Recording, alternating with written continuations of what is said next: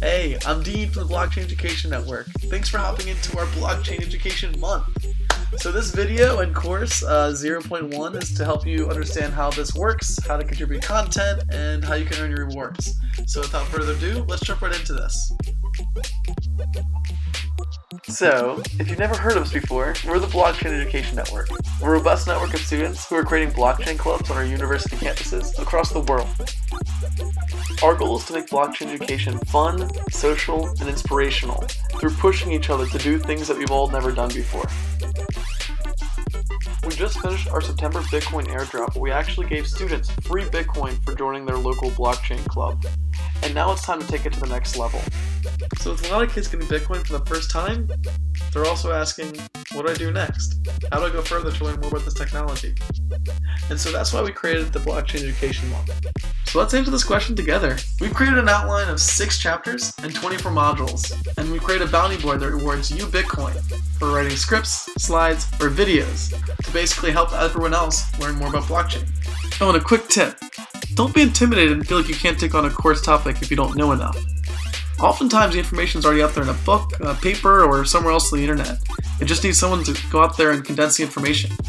So take this opportunity to earn some Bitcoin for learning more about this technology. Now let's get you set up to start contributing to the Blockchain Education Month.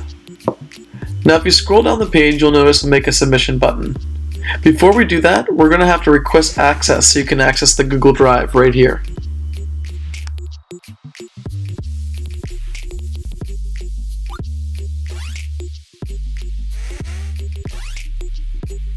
While waiting to get access to the Google Drive folder, why don't you check out the syllabus to see which topics you might want to cover. We've broken up the syllabus into six chapters and then further into modules. You're welcome to take up any chapter or, module you like to perform. For example purposes, I'm going to pretend there's another module called 0.2. You'll receive an email giving you access to the Google Drive folder on the BEM homepage. Once you do, you can dive in by clicking right on it. Within the Blockchain Education Month Google Drive folder, you're free to create your own folders and add your own content to it. So let's do that now. So I'm creating BEM, Chapter 0, Module 2, and then my Slack username. After I create this folder, I'm going to go into the Copy Me templates and make it easy for me to get started.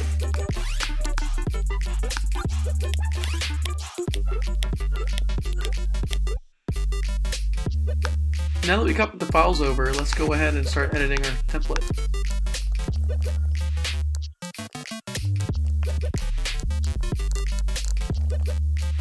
Once your module is finished, let's submit it. Let's go over to the folder you just created and get the sharing permissions. Make sure that anyone can find and view. Now, let's go make a submission. And now I'm going to add the hyperlink of the Google Drive folder I just copied. And that's it. I just got points. Now there's three ways to get paid in the Blockchain Education Month. You can build out the course, you can make YouTube videos for the course, or you can create content completely unrelated to the format of what we've outlined beforehand, what we like to call creative tagging.